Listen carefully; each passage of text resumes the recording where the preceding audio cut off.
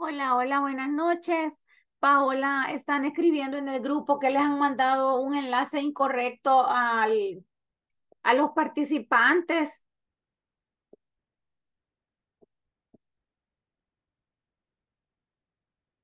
Y el que yo les envié, el que me cayó a mí al correo, pero no sé si está incorrecto también ese. Hola, buenas noches, licenciada. Ahorita voy a verificar, solamente me repite porque sí le escuché una parte solamente. Ah, es que fíjese de que me está, en, en el grupo de WhatsApp los participantes están poniendo que les han enviado el link incorrecto. Y yo también les mandé uno, pero yo les mandé el que me cayó a mí al correo, que no sé si está bien o no, vea. Porque sí están aquí poniendo de que es incorrecto el que yo les mandé, pero yo les envié el del correo electrónico, entonces no sé. Vaya, ahorita voy a verificar eso, entonces muchas gracias por informarnos. Ah, ahí está diciendo Víctor del que, que, que yo les envié, si, si es este, dice. Entonces, eh, ya les voy a decir que entren ahí.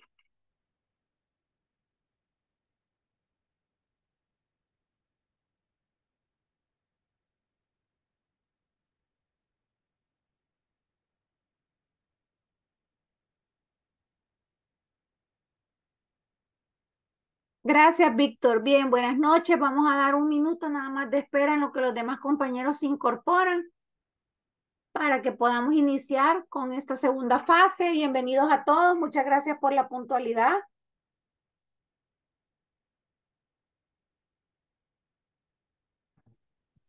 Hola, buenas noches, ¿me escuchan? Buenas noches. Fíjense que a mí me habían enviado un link Ajá. eh, como a las 2 de la tarde, creo que fue. ¿A dónde? Eh, me Correo. dijeron a, a WhatsApp, Ujú, me dijeron que ese era. Ya después, tipo 5, me dijeron que lo iban a borrar porque era el incorrecto y me enviaron el otro. Y el ujú, otro entré y es la clase con otra licenciada. ujú, ujú. Sí, bien extraño, ¿verdad? Porque, porque en la lista de asistencia sí los tengo yo a, a todos ustedes. Ajá, porque ahí como que se ha equivocado de grupo la, la que está enviando los links. Sí, ya sabe, cu- sabe cuando lo copia porque le pasa eso, pero ahí ya, yo el que les envié yo, sí es el que me dieron a mí en el, en mi correo de, de facilitadora, que me lo mandaron el día de ayer para darme mis accesos, ¿verdad? A la plataforma y todo. Pero ahí sí ya, Will creo que también ya entró con ese que yo les mandé. Sí, con ese sí pudimos entrar porque, o sea, me, me abrió el navegador y como que me inscribí, digamos, y ahí me abrió la aplicación. Ah, cabal, cabal, así es. Bien, gracias, Víctor. Yo creo que ya van a entrar los demás porque tengo a 17 personas inscritas, de las que sí van a continuar con el segundo módulo, ¿verdad? Entonces vamos a comenzar ya. Eh, yo creo que todos los que están aquí llevaron el primer módulo conmigo, por cualquier cosa. Mi nombre es Glenda Panameño, licenciada en Mercadóloga y voy a darles el segundo módulo de marketing digital. Eh, vamos a comenzar, bueno, eh, básicamente haciendo un feedback, ¿verdad? Rapidito nada más de los contenidos que estudiamos en el primer módulo para recordar qué fue lo que vimos, cuál fue el material que se les compartió, ¿verdad? Estuvimos, eh, empezamos en esa oportunidad con los conceptos básicos y la parte introductoria de qué es el marketing, la evolución y el origen.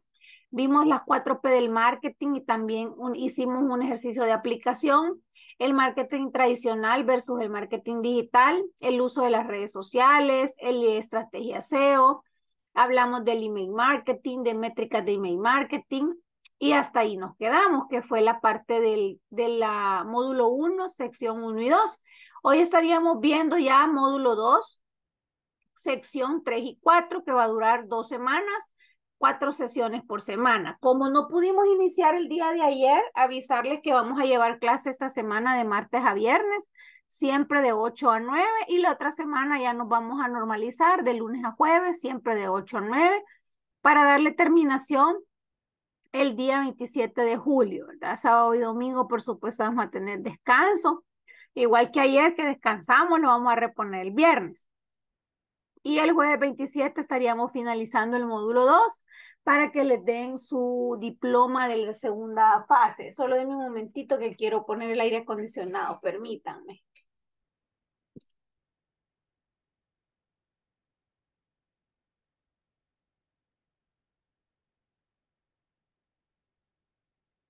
Bien, en esta oportunidad voy a mostrar pantalla para que podamos ver qué es lo que se va a estudiar. Dice Carmen María, no la deja entrar, dice el enlace. Ay, ay, ay. Permítame.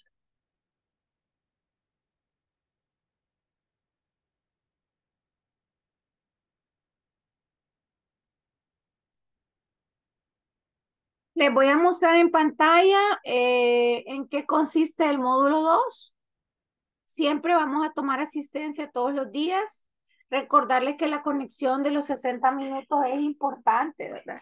Todos los minutos que usted pueda estar conectado debe estar conectado para que pueda llegar al porcentaje requerido de asistencia por parte de Inglés Corporativo y por parte de INSAFOR, ¿verdad? Acá les muestro pantalla.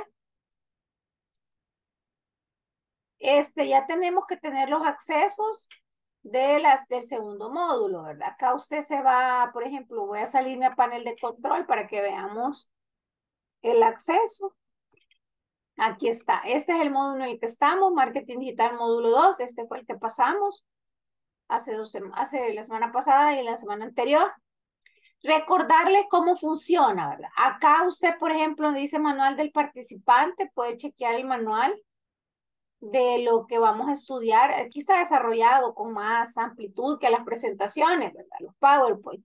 Este tiene una, un contenido, si no me equivoco, de 29 o 30 páginas por ahí. Ya me va a cargar y aquí hay forma de que usted lo eh, abre el archivo, acá lo puede imprimir y acá lo puede descargar, ¿verdad? Entonces sí les recomiendo que eh, descarguen el manual. En el módulo anterior también tenían esta posibilidad. Permítame que creo que me está fallando el Inter. Quiero ver si puedo cambiarme de red para que podamos, no me vayan a escuchar cortado. Porque yo lo detecto cuando, cuando, cuando me cuesta que me cargue la pantalla del, en este caso de la plataforma, vaya. Entonces, a ver si me sale mi red por aquí. Ahí está.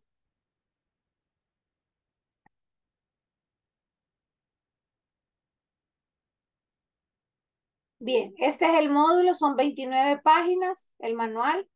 Acá está su índice de lo que vamos a estudiar. Miren, posicionamiento y propuesta de valor, mercados objetivos y segmentación, metodología inbound marketing, métodos de medición de retorno de inversión.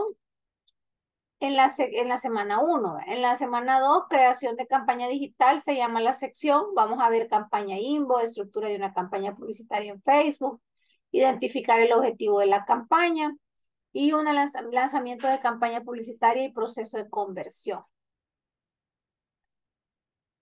Eso es lo que vamos a ver en esta sección. Esto lo pueden ver todo desarrollado en el manual y acá está el manual. Y cuando ya nos vamos a la parte de el curso como tal para conocer dónde están ubicadas las secciones, usted, como vamos con esta sección, ¿verdad? Que es la sección 1 del módulo 2, que es la semana 3, ¿verdad? Para nosotros. Entonces acá entramos a estrategias de comunicación efectiva y acá en la primera pestaña vamos a encontrar posicionamiento y propuesta de valor. En la segunda vamos a encontrar mercados objetivos y segmentación. Y acá en la tercera, donde está el lapicito, va el primer laboratorio que ustedes ya saben que debe de quedar hecho por tarde el miércoles en la mañana. Este tiene unas dificultades de 10, 10 dificultades de opción múltiple. Y después, el día miércoles estaríamos, el día, perdón, jueves, pensando que es lunes hoy, el día jueves estaríamos viendo metodología INVO y el viernes estaríamos viendo métodos de medición y retorno de inversión. Ese día tiene que quedar hecho el laboratorio 2, que tiene 10 dificultades también de opción múltiple. Y de ahí estaríamos pasando a la siguiente semana. Comenzando el día lunes, acá les muestro, con eh, A ver que no carga. Creación de campaña digital. El martes, estructura de una campaña publicitaria en Facebook. Aquí sería bueno que tengan a la mano sus, sus, sus páginas si las tienen para que las podamos revisar y visualizar con los compañeros. El laboratorio 3, que estaría realizándose más tardar miércoles en la mañana, ya debe estar terminado. Este tiene también 10 dificultades de opción múltiple. Y acá está el día miércoles, identificar el objetivo de la campaña. Y el jueves, que estaríamos viendo la última, el último contenido del lanzamiento de campaña publicitaria y su proceso de conversión. Y no olvidemos darle siempre siguiente porque acá les va a aparecer la prueba final. Miren, del laboratorio, del, perdón, del módulo, del módulo 2. Examen final. Este examen final tiene 10 dificultades, así que hay que tener cuidado que quede hecho, ¿verdad? No lo vayamos a dejar sin hacer para que usted alcance también en este caso el porcentaje correcto en las notas. Eso sería lo que vamos a estar estudiando en estas dos semanas. Bien, dejo de compartir. Y yo creo que ya está la mayoría. Hoy sí voy a tomar asistencia primero para que no se nos vaya a pasar el tiempo. Por favor, le pido que cuando escuche su nombre me, me conteste presente, porque yo en este momento estoy cambiándome de pantalla y no veo eh, si levanta la mano o, o, si escribe en el momentito, no veo. Entonces veo hasta que ya me paso de nuevo que no me contestaron, pues ahí ya puedo verla. La gente que no contestó, Entonces, si puede tener listo para abrir su micrófono, sería magnífico para poder tomarle la primera asistencia de este módulo. Carmen María Rivera Villatoro. Clarisa Alejandra Galvez Rivas. Presente. Dalia Dolores Murcia, Flores. Presente. David Giovanni Cortés Enríquez. David Giovanni. Presente. ahí está, ya lo vi, David. Gracias. Diana Michelle Barahona Rivas. Diana Michelle Barahona Rivas. Dina Ruth Campillo Ayala. Presente. Hazel Yamilet Salguero Cibrián. Presente. ahí está. Gracias. Presente. Larisa Pereira Sánchez. Presente. Gracias. Marjorie Lisette Hernández Ramos. Presente. Naomi Alexandra Galán. Naomi Alexandra. Naomi Vanessa Torres Melara. Presente. Patricia Gabriela Orellana. Presente. Raquel Azucena Portillo.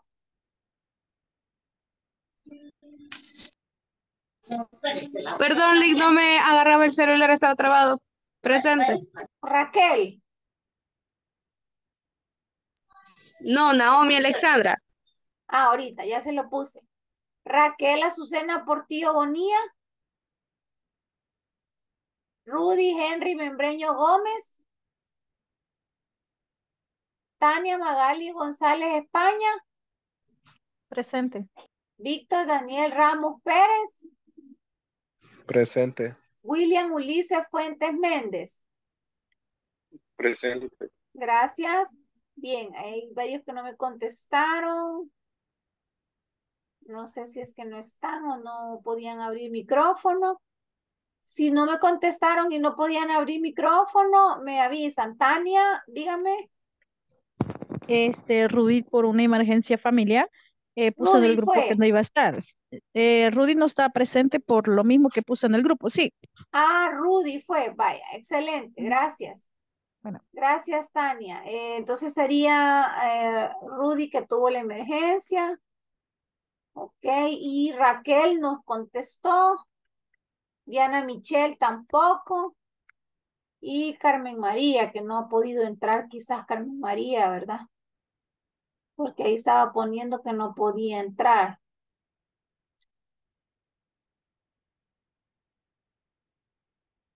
De Raquel si no sabemos nada y Diana Michelle no está. Diana, Diana no está tampoco. Bien. Vamos a esperar a ver si entran más adelante. Bien, vamos a comenzar y hoy sí les voy a mostrar pantalla para que veamos el tema de posicionamiento. Fíjense que en esta parte y el, el manual por eso tiene em, en su desarrollo parte donde habla de la marca.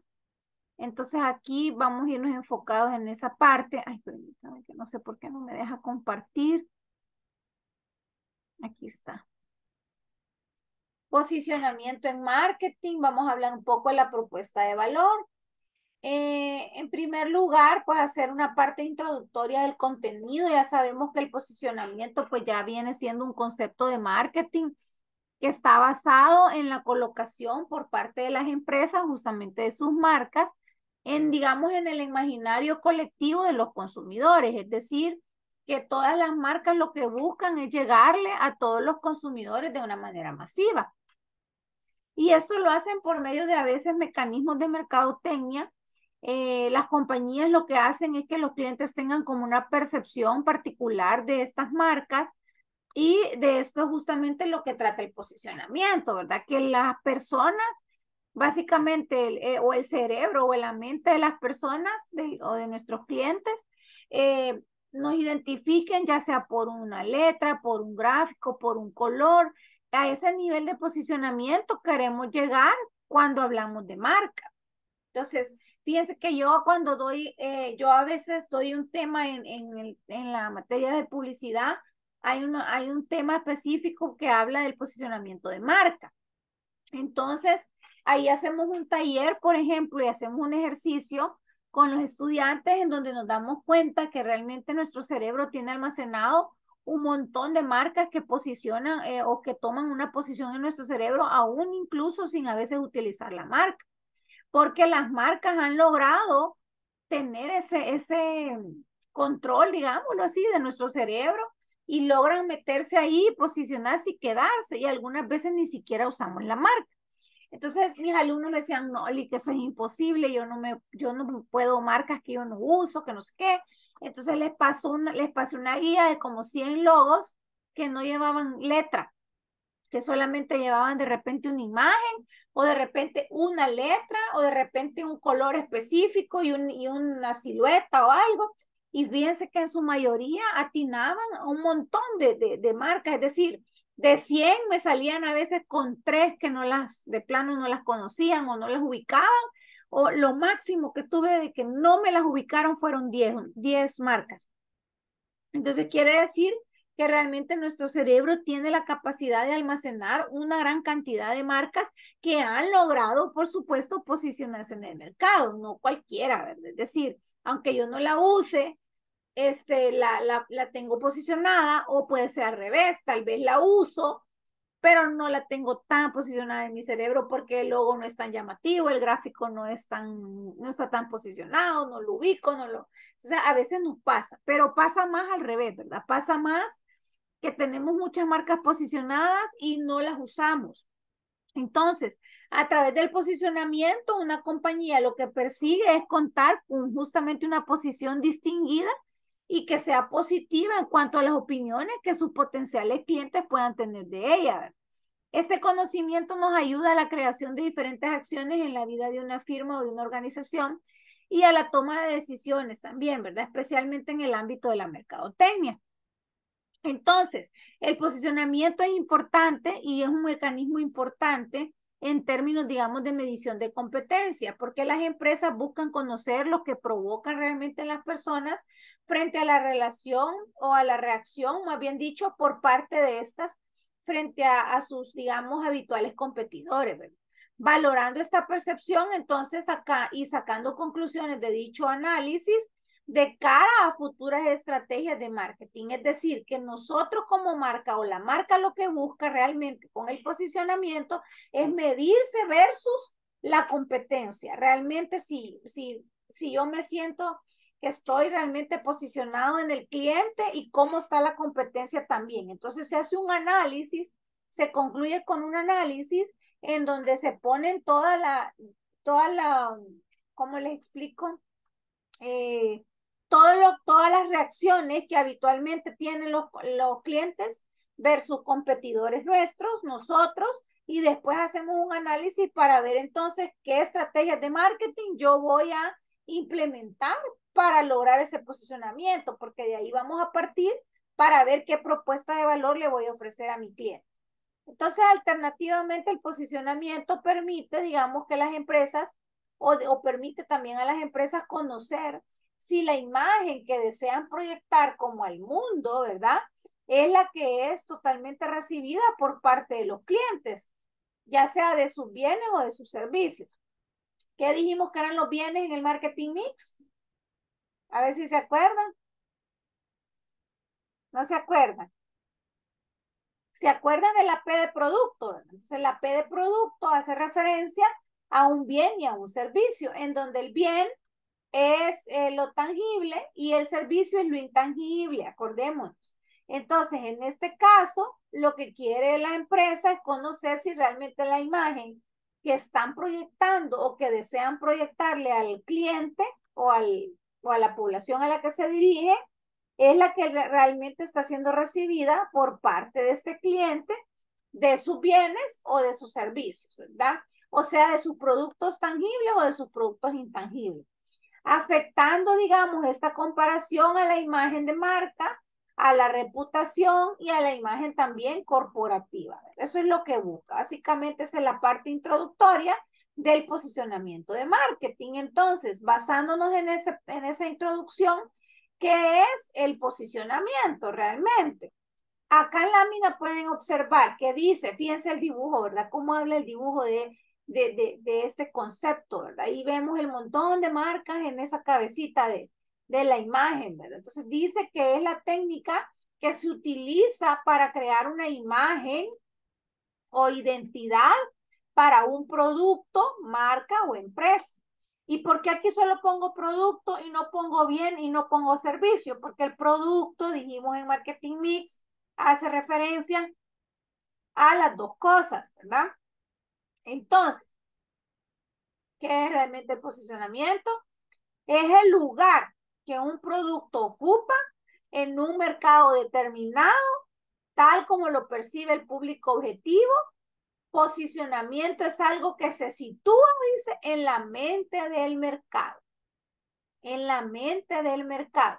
Y allá eh, por el día uno que nos vimos la primera vez, decíamos que el marketing estudia el comportamiento de los mercados y el comportamiento de los consumidores.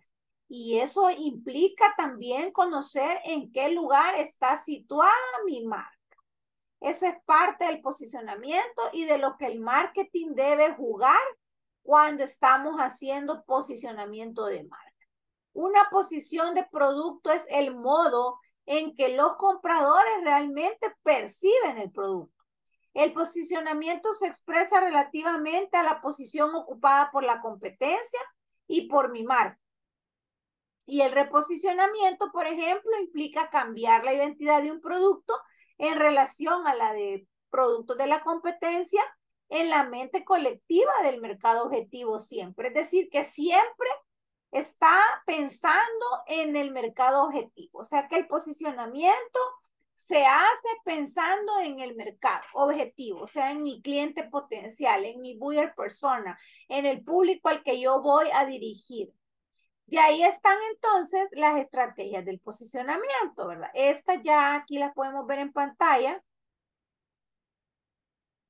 Ya las estrategias exitosas, digámoslo así, de posicionamiento se traducen básicamente en la adquisición por parte de un producto de una ventaja competitiva. Entonces, las bases más comunes como lo dice la lámina, para construir una estrategia de posicionamiento de productos son las que vamos a mencionar a continuación. Por ejemplo, habla del posicionamiento sobre las características específicas de un producto. Es decir, que este posicionamiento está pensado y está basado en que nosotros como mercadólogos como, o como este, encargados del área de publicidad, por decirlo así, basemos eh, nuestras campañas publicitarias o nuestras pautas en, en resaltar específicamente todas esas características, todas esas bondades que nuestro producto tiene para ofrecerle a los clientes. Recuerden que nosotros estamos para que el cliente entienda eh, cuál es la solución que yo como marca le doy a sus necesidades. ¿Verdad? Entonces, resaltar a veces las características y bondades de lo que yo vendo, de mi servicio o mi, pro, o mi bien, puede ser un, una campaña exitosa al momento de posicionar eh, eh, mi producto, ¿verdad? De ahí está el posicionamiento sobre soluciones, beneficios o necesidades específicas. Si yo conozco bien a mi cliente, a mi, a mi, a mi este, prospecto o a la persona que me va a comprar, eh, yo puedo entender mejor cuál es su necesidad, dónde compra, por qué compra, cuándo compra, qué es lo que yo realmente le voy a resolver. Y eso me ayuda también a que si se lo resuelvo, el, mi, mi producto se posicione porque le di solución, porque mis beneficios cumplieron con sus necesidades o, o suplieron sus necesidades. De ahí está el posicionamiento sobre el uso determinado de categoría. Una campaña basada en, en un posicionamiento de uso, es decir, que el cliente sienta que usted lo está asesorando hasta para usar el producto que le está vendiendo. De manera que el cliente se sienta confiado, que el cliente eh, se sienta apoyado por la marca, porque lo que sucede también a veces es que cerramos un negocio y al nomás lo cerramos nos olvidamos de los clientes. En este caso, el posicionamiento de uso determinado está, está basado en esa parte de la asesoría, ¿verdad? De ahí viene el posicionamiento sobre ocasiones de uso específicas también, ¿verdad? Realmente eh, que logremos posicionar en el cerebro nuestra, nuestra marca a ese nivel en donde sepan que solo nuestro producto les va a resolver sus necesidades específicas. El posicionamiento contra otro producto. Miren, aquí es bien complicado porque a veces es dentro de la misma empresa tenemos competencia con algún producto específico. Dentro de la misma, un producto compite según su categoría con otro producto de la misma categoría a veces compiten por precio, entonces aquí es donde entra esta parte de resaltar las características específicas de un producto y de otro para que el cliente pueda apreciar sus bondades de ambos y entonces ya él decida cuál es el que cumple realmente o llena sus expectativas para poder solventar sus necesidades. Entonces el posicionamiento contra otro producto puede empezar basado en un precio pero puede terminar basada en un resalte de, características. De ahí está el posicionamiento a través de disociación por tipo de producto. En esta parte, cuando nosotros hablamos por tipo de producto, hace mucha referencia también a la categoría, ¿verdad? Acá el posicionamiento siempre va a ir orientado a las características específicas como en el número uno. Siempre, siempre conocer bien qué eh, lo que ese producto me va a resolver. Entonces, es una estrategia que usted va a implementar según como usted investigue que sus clientes, eh, o, que, o, más bien cómo está segmentada su cartera de clientes. Así también usted puede decidir cuando ya conoce bien a sus perfiles o a su prospecto, ahí usted decide qué estrategia es la que más puede ayudarle a posicionar su marca. De ahí pasamos a la parte, por ejemplo, del el proceso de posicionamiento de producto. Fíjense que aquí comprende identificar productos competidores. Siempre bueno, vaya, por ejemplo, fíjense que ahora me decía un estudiante. Eh, estábamos viendo un tema eh, que se llama tipología de clientes. Entonces estábamos en la parte en donde estábamos estudiando al cliente complacido, al cliente satisfecho y al cliente insatisfecho. Entonces les dije a todas las estudiantes, piensen en una marca que ustedes consuman que no eh, cambiarían por nada del mundo. Y cuando digo por nada del mundo, es por nada del mundo. Es decir, eh, ni porque se pone más barata o ni porque se suben los precios o ni porque no lo puede encontrar en un lugar más así cercano, porque le cuesta encontrar nada, o sea que no lo cambiaría por nada y que lo va a ir a buscar a donde sea necesario con tal de consumirlo. Así se lo dije. Viene, porque a veces nosotros también compramos por, por ubicación, no solo por precio, calidad, precio, ubicación, inmediatez y un montón de, un montón de cosas que, que pensamos antes de comprar un producto. Entonces, vino una persona y me dijo, pasé uno por uno, preguntándole cuál era y les decía por qué. O sea, esta marca decían, ¿por qué? Y me decían, ¿por qué? Esta marca, ¿por qué? ¿Por qué? ¿Por qué? Y así. Pero la que más me llamó la atención fue una señorita que me dijo la Coca-Cola, fíjense. Porque estábamos haciendo un ejercicio que podía mencionar cualquier producto de primera necesidad, fíjense, de primera necesidad. Y me sale con la Coca-Cola. Entonces yo le dije, yo creo que todos, a todos nos gusta la Coca-Cola o, o, tal vez no es que no, no, no nos guste, pero es, la consumimos. Sea como sea, en algún momento hemos consumido Coca-Cola. Probablemente unos ya no la consumen como antes que eran más jóvenes porque nos hace daño. Yo en el colegio me acuerdo que todos los días me tomaba una, pero ya después uno va cambiando de hábitos y eso, pero no es que no nos guste la Coca-Cola. Entonces, me decía ella, sí, es que yo no la cambio, pero yo en mi mente decía, ¿por qué ocupo el ejercicio para elegir un producto que no es de primera necesidad? Pero lo escogió porque es alguien que se toma todos los días una Coca-Cola.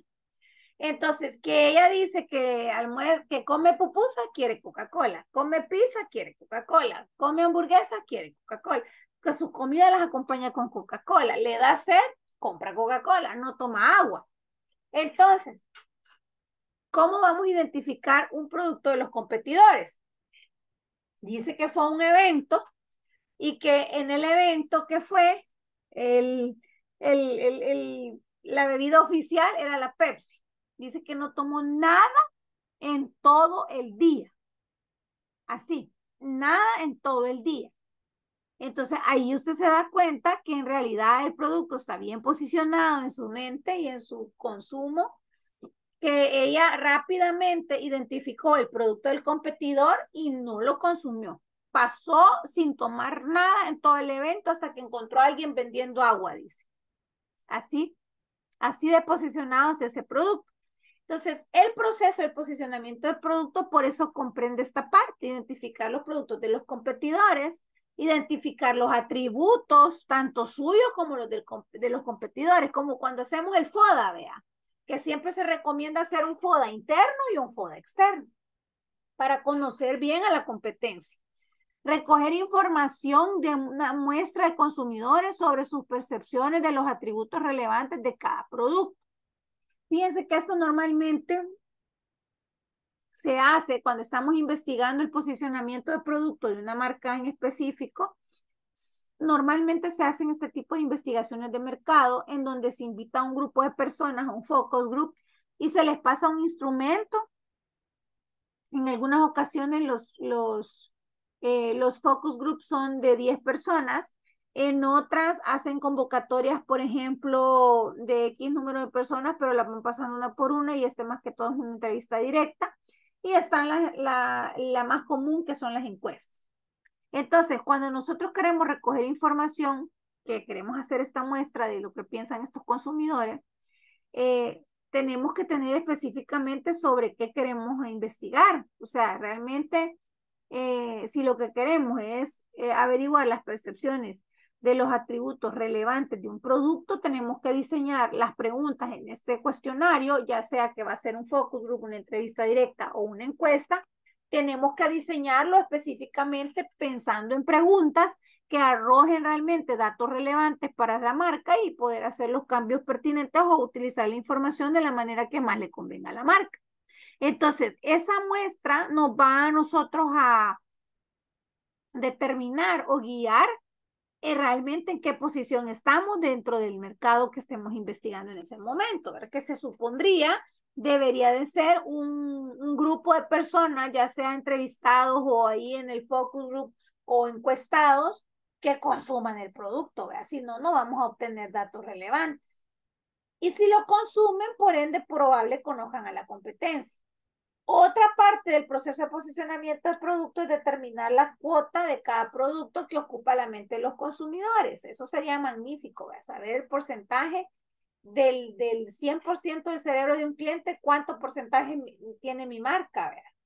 Otra cosa es determinar la localización actual de cada producto en el espacio del producto. Determinar también las combinaciones favoritas de atributos de quienes constituyen los mercados objetivos. Examinar la concordancia. Fíjense que en esta parte tiene que ser la concordancia entre las posiciones de producto competidores, la posición del producto, la posición de un vector ideal y seleccionar también la posición óptima. ¿verdad? La posición óptima. En esta parte, fíjense que vamos a ver algunos aspectos que tenemos que estudiar. Ya les pongo aquí, permítanme. Por ejemplo, esta parte. Aquí, miren, elementos comunes en una estrategia de posicionamiento, las bases del posicionamiento y el posicionamiento digital.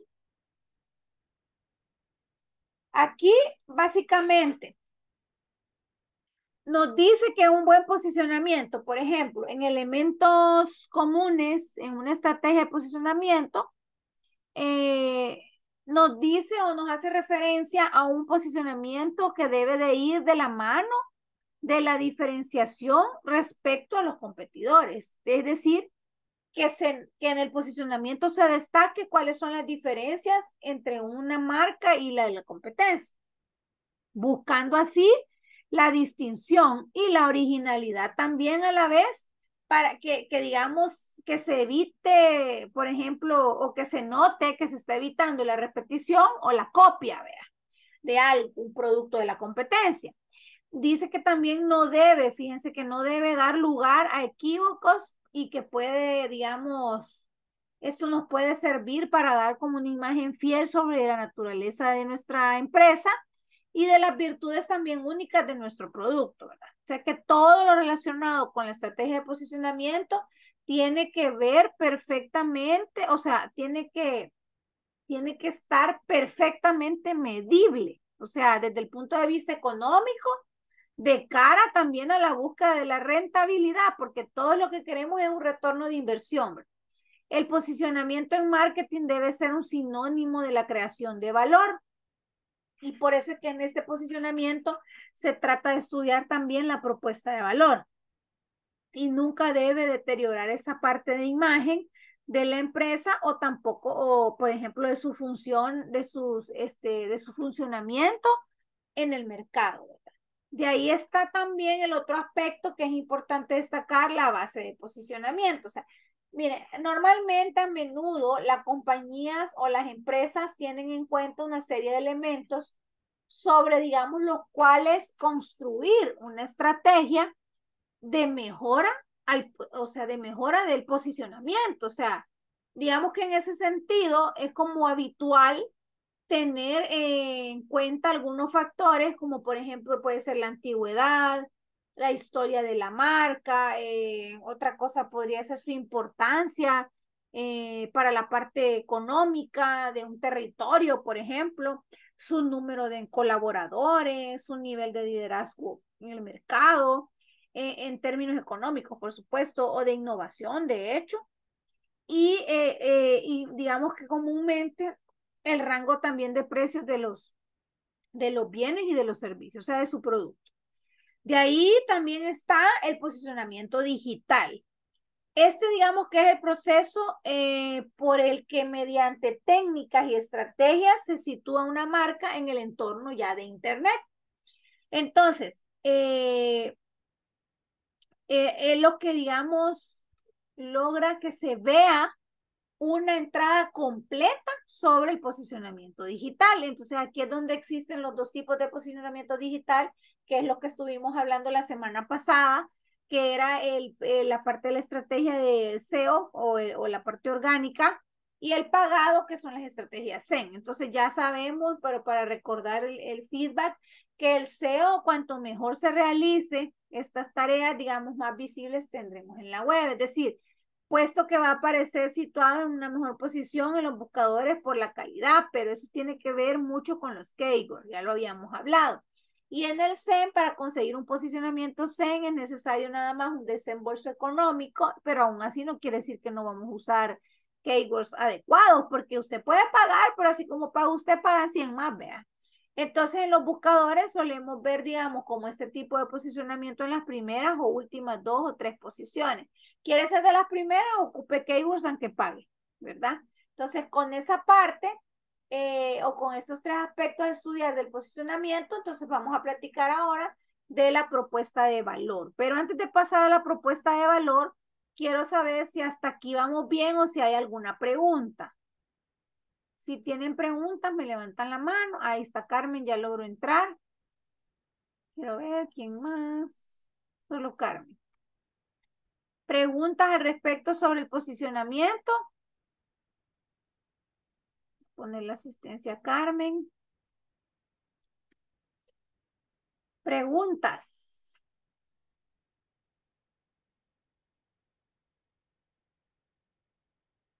Bien, me levantan la mano si hasta aquí vamos bien con el tema del posicionamiento de marca.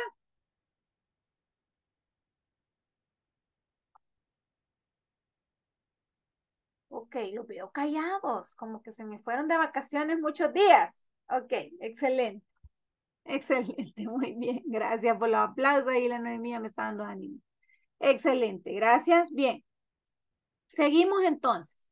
Vemos el tema del posicionamiento de valor, de la propuesta, perdón, de valor que viene amarrada del posicionamiento. Fíjense bien, en esta parte nosotros tenemos que entender que las marcas buscan eh, realmente eh, venderle al cliente una propuesta de valor. ¿Qué es y cómo podemos elaborar la propuesta perfecta para nuestros clientes? Entonces, aquí una propuesta de valor, digamos que viene siendo eh, como una palabra sencilla, un recurso, viene siendo un recurso para transmitir de manera objetiva y directa todas las ventajas que una empresa puede aportar a sus clientes. Entonces, ¿esto cómo ayuda al posicionamiento? Según el concepto que hemos visto en las láminas anteriores, es un posicionamiento que resalta las características y las bondades que puede tener un producto. Entonces, dentro de la propuesta de valor, esto se considera el recurso para transmitir de manera objetiva y directa todas estas eh, bondades o estas ventajas que realmente la empresa le está dando al cliente para resolver o darle solución a su necesidad. Entonces, mostrarle a los clientes lo que la empresa puede ofrecer siempre va a ser indispensable para que el cliente nos considere y nos meta aquí. Entonces, eso lo involucra al cliente. Entonces, la propuesta de valor relaciona todos los aspectos más destacados de una empresa y la posiciona entre sus consumidores, lo que mejora, por supuesto, su capacidad para resolver los problemas que los clientes tienen, que es lo que busca. Una persona, cuando busca consumir una marca, es porque está buscando que le resuelvan una necesidad, como el caso de la niña que les decía yo de la Coca-Cola. Ella su única, su única forma de que, le, de que le suplieran su necesidad en ese evento era que le llevaran una Coca-Cola. De lo contrario, ella no iba, porque ella está casada con la Coca-Cola la propuesta de valor que la Coca-Cola le ha ofrecido le hace partícipe de que ella diga, me aguanto la sed hasta que me den la Coca-Cola. A ese nivel ha llegado a ser la marca para ella. Entonces quiere decir que la empresa ha logrado su cometido, ha destacado dentro de la, versus la competencia y está posicionada entre, en esa clienta. Y sabe que le va a resolver el problema solo si le da su marca. Entonces todo esto se muestra, digamos, también en un contenido como objetivo, un contenido transparente, un contenido creativo, que la marca ha logrado hacer en el cerebro de esta cliente. Si algo caracteriza a esta marca como la Coca-Cola es la parte de la creatividad, La, la parte de la transparencia, cómo transmite los mensajes. Mire, a mí me llama tanto la atención los anuncios de la Coca-Cola que a veces yo he encontrado anuncios, así sinceramente, les voy a dejar de compartir un momentito. Eh, he logrado ver anuncios de esta marca que no dicen nada. No dicen nada, pero transmiten un montón. Entonces, a veces hay marcas que logran una propuesta de valor tan genuina, porque esa es la palabra, tan genuina, que solo por hacerlo así de creativo, logran el posicionamiento. Y fíjense que aquí me voy a referir meramente a la parte digital, porque si la Coca-Cola algo lo destaca es la evolución que ha tenido también en sus campañas publicitarias. Y, eh, por ejemplo, yo hace poco vi un anuncio, bueno, no hace poco, en diciembre, pero es un anuncio que a mí me impactó el nivel de posicionamiento que puede lograr en un cliente. Déjenme ver si lo tengo por aquí para mostrárselos. Y ustedes me dicen ahí sus opiniones, a ver eh, qué logran captar de este anuncio, o más bien cómo logra este anuncio posicionar algo eh, en, la gente, en el público, vean, en el público, lo vamos a ver así en general, en el público. Y, eh, pero espérenme, déjenme ver si lo encuentro. Para podérselos mostrar. Para que entendamos esta parte de la, eh, de la propuesta de valor, porque eso es lo que me, me, llamó la atención en este anuncio. Ay, miren, tienen suerte, lo encontré en las primeras, fíjense cómo le puse, en las primeras búsquedas de YouTube, lo encontré en la segunda posición y solo le puse Coca-Cola anuncio navideño y me salen por supuesto todos, pero este me salió en la segunda posición eh, quiere decir que ha utilizado uno de los keywords correctos y por supuesto casi 100% segura, 99.9% segura que ellos utilizan en este buscador de YouTube estrategia SEMBRA. Porque pues sí, no les hace eh, ni más ni menos rico pagar una publicidad a este nivel, ¿verdad? Entonces les voy a mostrar aquí en pantalla y solo observenlo, porque escúchenlo porque realmente se van a dar cuenta que, que, dice mucho con poco. Entonces quiero que le pongan atención porque sí me gustaría que me comenten qué pueden percibir de la propuesta de valor y del posicionamiento solo con este anuncio de dos minutos. Les voy a compartir y me ponen atención para que participen, para que hablen. Les voy a prestar la guitarra escuchan.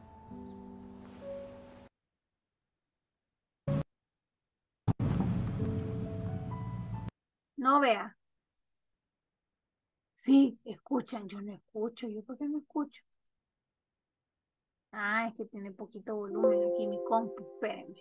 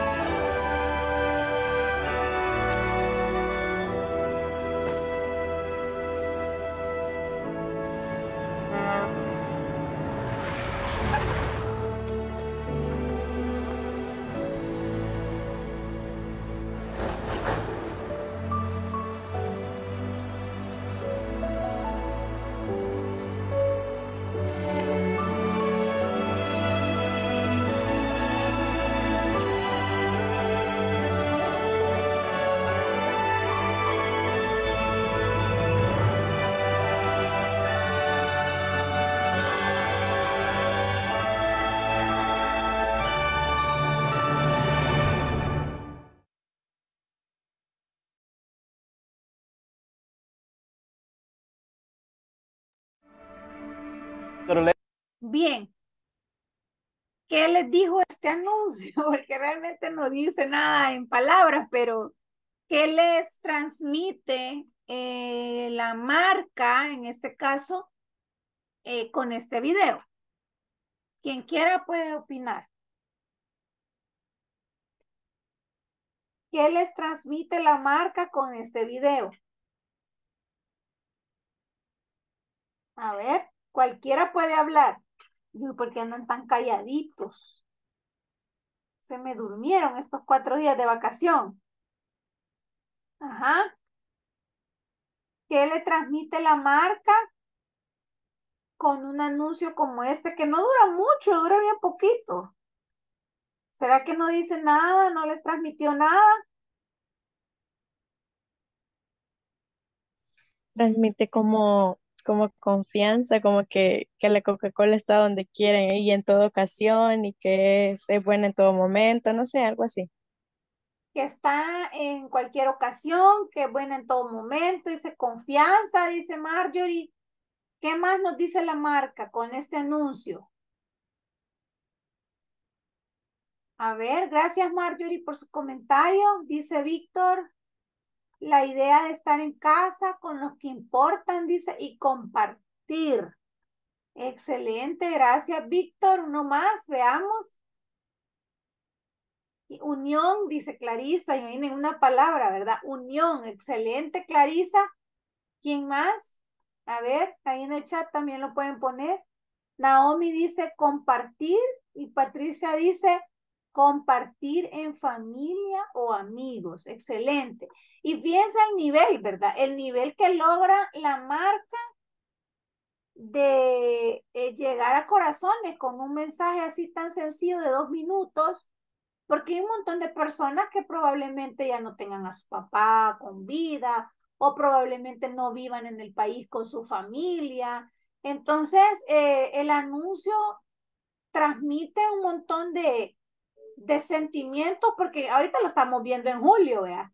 Pero cuando lo están dando en diciembre, o sea, la nostalgia y, y, las emociones están a flor de piel, digamos, ¿verdad? Porque son fechas especiales, porque la mayoría de gente, pues, esa fecha les gusta estar en familia. Tania. Hola, hola, este, buenas noches. Perdón que no había participado, pero estoy en el hospital con mi hermana. No se preocupe. Este, y venía bajo una tormenta manejando. Entonces, dentro de lo que usted, dentro de lo, de lo del video, eh, lo que yo logro captar, que usualmente Coca-Cola usa lo que es cuando uno destapa la coca, el, el sonidito, que le despierta inconscientemente a uno el deseo de quererse tomar una coca, este helado no este helado. Entonces, este, de hecho, hasta el mismo nombre como que inconscientemente eh, lo hace uno como consumidor inconsciente, podría decirse, o en las horas de almuerzo que no tiene que faltar la coca, etcétera, etcétera. Entonces, influye, eh, ya es como, como nuestro diario vivir el adaptar este, esa bebida en nuestras comidas, principalmente en hora de almuerzo. Hay muchas familias que lo hacen en sus tres tiempos, dejando a un lado el, el alto grado de daño que le hace al organismo. Exacto, correcto. Sí. Esa sería mi participación. Gracias, Tania, muy amable. Y fíjense que tiene mucha razón, Tania, porque justamente si hablamos básicamente del producto, que venimos hablando de que el posicionamiento a veces se va a caracterizar por el tema de destacar las ventajas, bondades y beneficios de un producto. Es como bien complicado, y, y se lo digo como transparentemente como mercadóloga, es complicado destacar bondades de la Coca-Cola como tal, o sea, de líquido oscuro, es bien difícil destacar una bondad de líquido oscuro, porque lo que acaba de decir Tania es muy cierto. O sea, eh, si nos vamos a la parte de la salud, eh, yo no sabría qué destacarle de bondad al líquido como tal. Sin embargo, ellos también lo saben como marca. Y lo saben y por eso ellos su, creado, su creación de contenido va dirigido a todo lo que ustedes han puesto en el chat y a lo que han dicho aquí en el micrófono. A tocar emociones, a tocar sentimientos, a llegarle por medio de la nostalgia a los consumidores o a los clientes. El tema también puede ser del clima, Hay que, por lo que dice Tania, o sea, uno tiene calor y tiene sed y, el ruidito ese que le hace es porque quiere, eh, usted ya sabe, pues cuando hace ese ruido ya sabe que está abriendo una coca, porque es naturalmente más fuerte que cualquier otra gaseosa que usted abre. Entonces, eh, básicamente su posicionamiento lo orientan con este, con este tipo de contenido, con un contenido que destaque otras emociones, que llegarle al cliente por medio de corazón, de sentimiento, de emoción, de nostalgia, porque si ustedes se fijan, toda su publicidad, uno o no tiene texto verbal, o no, o tiene algunos cuantos guiones escritos, pero nunca, nunca, nunca de los nunca habla del producto. Toda su publicidad de contenido jamás habla del producto. No destacan ventajas del líquido. Del líquido oscuro no. Dice Vanessa, es una publicidad de Coca-Cola con café. Sí destaco que contenía, sí destacó que contenía cafeína y que promovía que si necesita estar despierto era el producto perfecto para eso. En la parte, ¿a dónde decía eso? No lo vi. Eso no me fijé. Sí me fijé que el camión dice sin azúcar. E, en eso sí me fijé. Entonces, y, pero imagínense a lo que vamos. O sea, eh, básicamente el mensaje podrá estar ahí, pero no se logra eh, ver con tanta naturalidad como otros productos cuando se destacan las bondades, ¿verdad? Vanessa. Buenas noches, licenciada. Solo explicarle. Fíjese que cuando hicieron la promoción de la Coca-Cola Café, porque sacaron esa que versión. En el anuncio, decía usted. Ah, no, no, no, en el anuncio. yo, no lo había visto. Ajá, dele, dele. que cuando entró al país esa versión le hicieron una publicidad, wow, exitosa, era para con una, una campaña sumamente grande, eh, creo que le invirtieron mucho, la verdad, como estrategia y le creó esa expectativa al consumidor, vea, que tenía cafeína, quería rendir más en el trabajo, eh, cuando estudiaba y todo eso. Cuando ya estuvo en el país y que eh, creo que querían generar más ventas, no hubo tanto alcance, tanta aceptación del público. Bueno, por lo menos a mí en lo personal, el sabor no era lo que yo me esperaba, lo que me vendieron en, la publicidad, vea, porque ¿Usted quedó... cafetera? Sí, súper, y lo que tenga cafeína me levanta. altas. Ah, correcto, así es, pero cuando ya probé el producto, ya era una vez lo probé y ya no lo vuelvo a, consumir, no lo vuelvo a gastar, o sea, solo fue una vez. O sea, ya ahí perdieron como, por ejemplo, la, la calidez del producto. Y me quedé siempre con la Coca-Cola normal, vea, la fiel. Correcto. Y, y quiere que le diga algo, Vanessa. Ese sí, producto, ese producto que, que, usted menciona con café, de hecho, yo creo que no les pegó al nivel que esperaban. Así es. Porque lo empezaron a regalar por la compra de, de, como ellos a la constancia, vea, si usted compra otro producto de ellos, llámese con licor o sin licor, mandaban a regalar el montón de latitas de, de Coca-Cola y probablemente no era porque le sobraran por el tamaño que era, era yo más creo que lo que estaban era haciendo y persuadiendo al cliente a que la probaran porque no había despuntado la venta como ellos esperaban. ¿verdad? Entonces, es lo que le digo, el posicionamiento de ellos con su propuesta de valor va orientada al tema de emociones, nostalgia, eh, el tema de transmitir unión, como decían por ahí, familiar, el compartir, el, más que todo el compartir, ¿verdad? Casi la mayoría de sus anuncios que no son navideños van eh, orientados al tema del compartir en amigos, en familia, hacer cosas juntos, por ahí va, no va muy orientado a destacar características o bondades de su líquido porque no, no sé por dónde podrían orientarlo porque no, o sea, no es que no sea bueno porque sí es rica, pero eh, como mercadóloga, si usted me dice, ¿cómo vendería usted líquido? el líquido y, no la marca, no sabría qué decirle porque tiene mucho azúcar. literal. Entonces, lo más que se me ocurre que podría decirle es que le puede saciar la sed un momento, vea. Le puede refrescar en un momento de calor, pero de ahí no habría, o sea, de verdad es un tema que yo siempre he tenido aquí en mi cabeza de como si a mí me pusieran a vender el líquido como tal que le pudiera destacar. Entonces, pero no lo han necesitado. Ellos no han necesitado como marca destacar su líquido, ni, su, ni sus bondades ni beneficios, gracias a Dios, porque ya tienen ellos eh, em, otra forma de llegarle al cliente, Ellos le llegan de otra forma al cliente. Eh, vamos a seguir con este tema el día de mañana y porque lo tenemos que terminar, ya faltaba poquito, eh, en donde vamos a ver un poquito de qué es una propuesta de valor y cuáles son sus características ya específicas.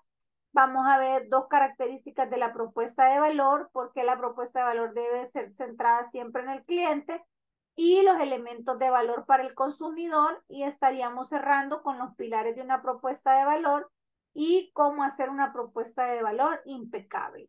Y ahí estaríamos terminando el tema y estaríamos pasando al tema número 10, que sería el mercado objetivo y segmentación. Y ya, ya estaríamos viendo ese tema mañana para ir avanzando en, esta, en este nuevo módulo. Nos vamos a quedar hasta aquí.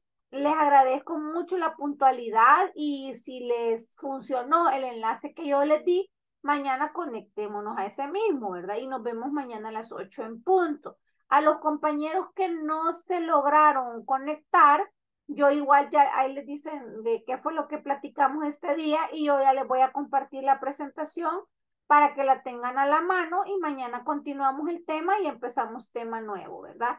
Les agradezco la puntualidad, la atención y de verdad que estoy contenta de que la mayoría se quedó para el segundo módulo y que están aprovechando esta oportunidad. Un placer nuevamente verlos y espero pues poder compartir estas ocho sesiones de una manera que intégrense ya no, como que fuera primer día, no me quieren hablar. El primer día no me hablaron más y me participaron más. Así que mañana sin pena, hay que reactivarnos, ya descansamos cuatro días.